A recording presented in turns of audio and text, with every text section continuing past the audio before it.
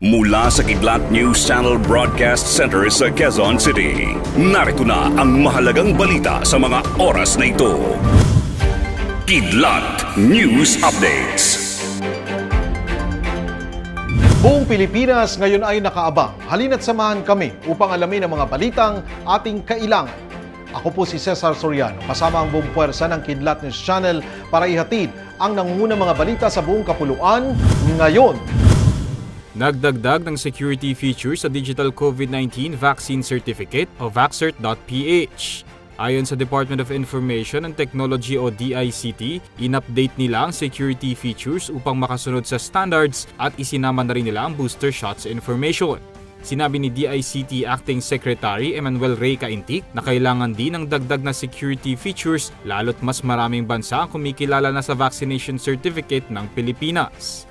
Umaasa naman si Kaintik na matatapos sa lalong madaling panahon ang pag-update sa Vaxcert at maaari na itong ma-access ng maraming Pilipino.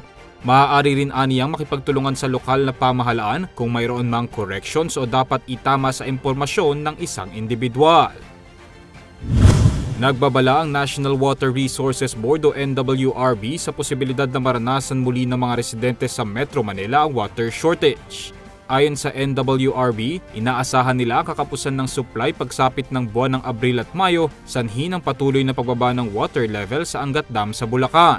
Araw ng Webes, February 17, bumaba pa sa 195.75 meters ang tubig sa Angat Dam mula sa 195.91 meters noong lunes na mababa sa ideal level o normal level nito na higit sa 200 meters.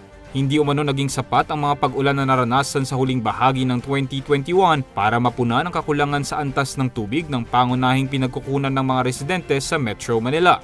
98% ng water supply sa Kamaynilaan ay nagmumula sa Angat Dam. Lampas isandaan na ang naitalang nasawi sa pagbaha at landslide sa syudad ng Petropolis sa Brazil araw ng Webes.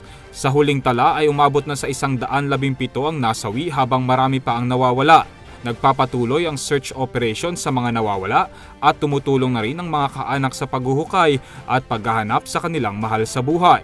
Sa mga video at larawan na kumalat sa social media, nagmistulang ilog ang mga lansangan ng rumagasa ang tubig baha na may halong putik at pinangangambahan na marami pa ang nalibing ng buhay nang matabunan ng putik ang kanilang mga bahay. Ang pagbaha ay sanhi ng walang tigil na pagulan sa mga nakalipas na araw. Ang Petropolis na kilala bilang Imperial City ay isang tourist destination na siyang pangunahing kabuhayan ng mga mamamayan sa syudad.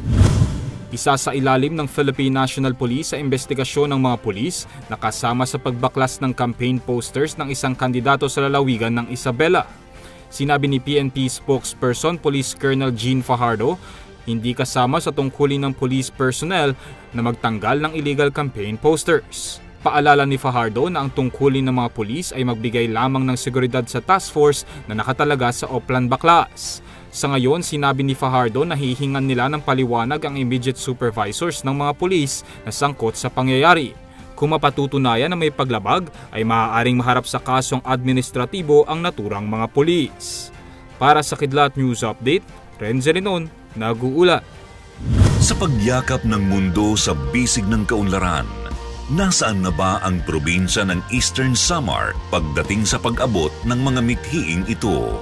Dati napakasama ng kalsada namin. Sabi nila ano to, Mona Lisa, diyan ka mamamatay, diyan ka manganganak. Ngayong Sabado, saksihan ang pagsuong sa unos at paggamit sa inaasam na transformasyon ng mga Estehanon. Ang hirap, dapa lahat eh. Marami pang napapag-iwanan ng mga kababayan ko mga lugar sa interior barangay. At sama-sama nating balangkasin at pagtibayin ang mga itinaguyod nilang pundasyon ng mga pangarap. Magandang gabi, Pilipinas. February 19, Sabado, 5.15 to 6.15 p.m. Dito lang sa PTV. At inyo pong natungayan ang mga headlines sa nakalipas na mga oras. Manatiling nakatutok para sa mga susunod na updates at breaking news. Ako po si Cesar Soriano, kasama nyo sa bawat pagputo ng balita.